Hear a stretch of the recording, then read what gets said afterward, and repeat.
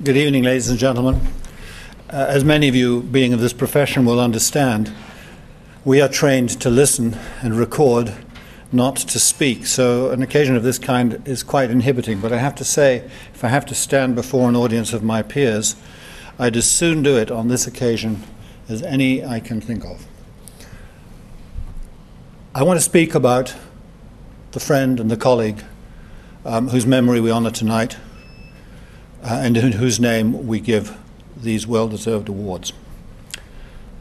Ten summers have passed since that dreadful day in May of 2000 when we heard what had happened on that lonely road in Sierra Leone.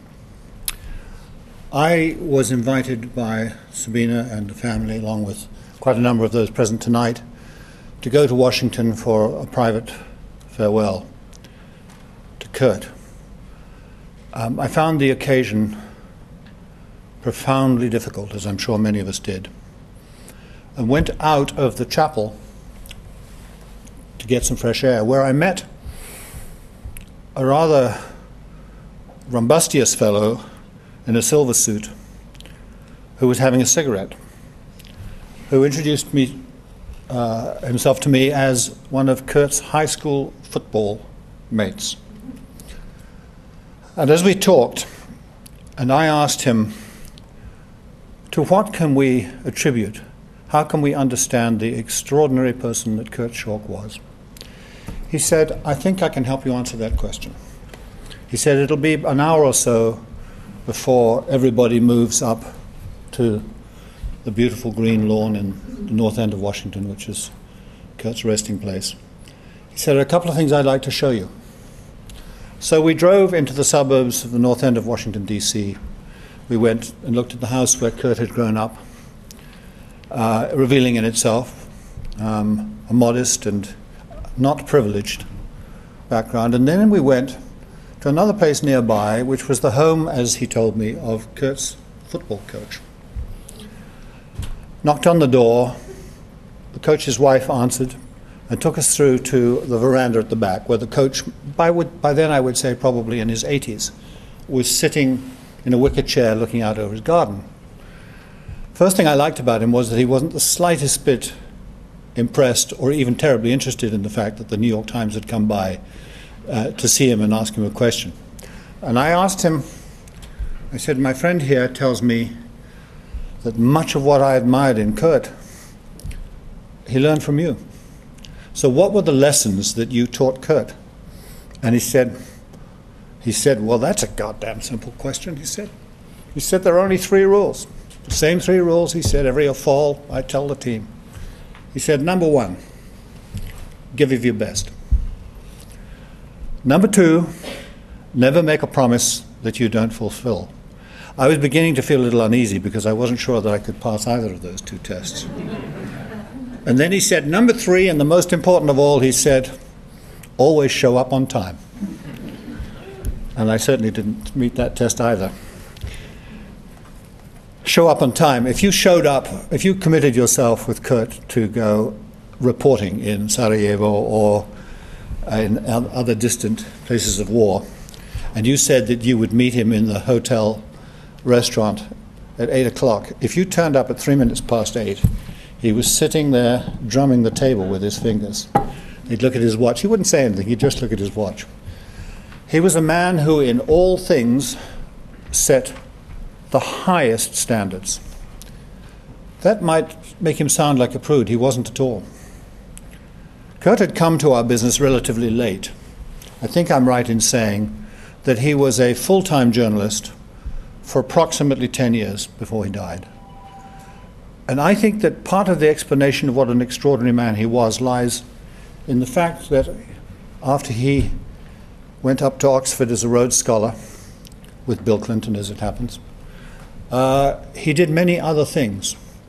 He had a broad experience of life which is uh, unusual in our profession. Um, he used to tell me that he had gone from being the executive director, as I recall, of the Metropolitan Transit Authority in New York, or the Mass Transit Authority, with 35,000 employees, he said to this, waving his notebook and his ballpoint pen. He told me that he had been interviewed by a reporter from the New York Times, a woman as it happened, in his MTA role, and that uh, when she left, he thought to himself, she has a more interesting job than I do. And he did this extraordinary thing.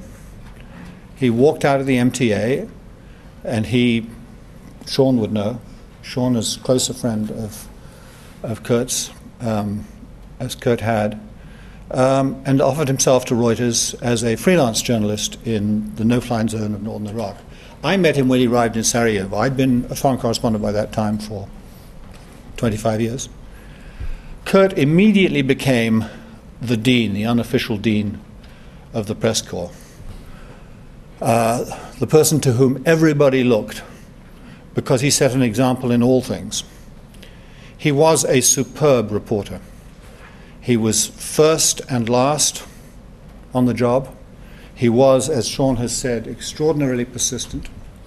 He was very tough, he just didn't give in. He was a really first class journalist. But to me, it wasn't that that set him apart. What set Kurt Schork apart? And I mean by this that I never met anybody in our profession who impressed me more. I think there are many here who would agree with this. What impressed me about him was Kurt Schork, as I think, not alone the journalist, the first class foreign correspondent, but Kurt Schork, the citizen, and Kurt Schork, the American. The two concepts are really one and the same. Kurt Schork understood something which many of us, I think, learn only hardly and over a very long period of time which is it's not enough in these hard places just to do the job and meet the deadline. That we go there as citizens, we go there with great privilege, and we go there with the potential to do real and not just imagined and virtual good. We can change things. We do change things, hopefully, with our reporting. But that wasn't enough for him.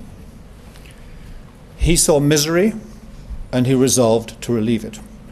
I could give you many examples of this, but the most outstanding one was on a Saturday night in Sarajevo. I'm thinking probably sometime in the winter of 92 93.